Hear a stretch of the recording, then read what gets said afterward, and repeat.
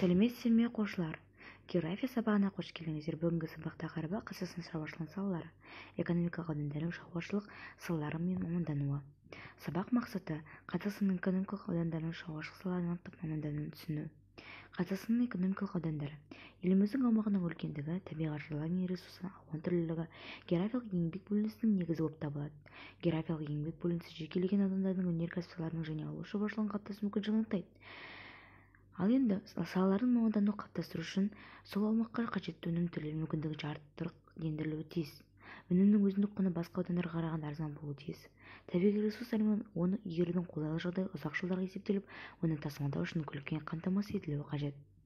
Мамандану бұл шаруашылықтың негізгі саласы. Аудан көлеміндегі басқа салалардың негізгі маманданған саланың дамуына қосымша әсер етеді. мысалға солтүстік қазақстанда маманданған саланың бірнеше біріне екіншілігі жатады. Бұл саланы интенсивті дамыту үшін техника шығаратын өндіріс саласымен байланыс орнату тиімді.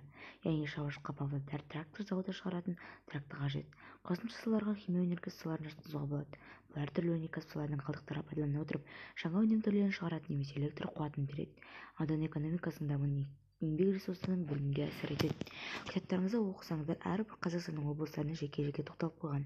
Соларды оқып жақсылап мамандану мен осы шаруашылық салаларын оқып алыңыздар.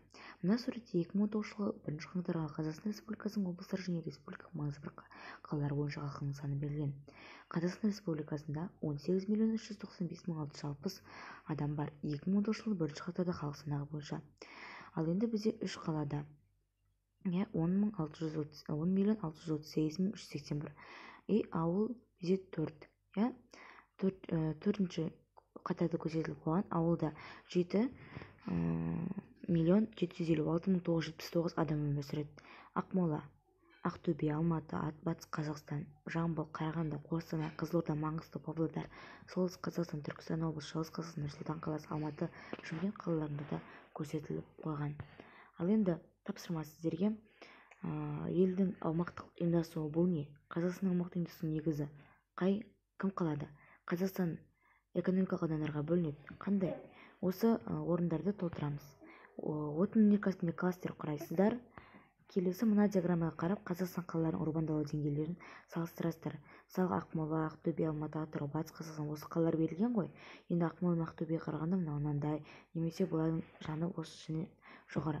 Назарларыңызға рахмет осымен география сабағы аяқталды сау саламатта болыңыздар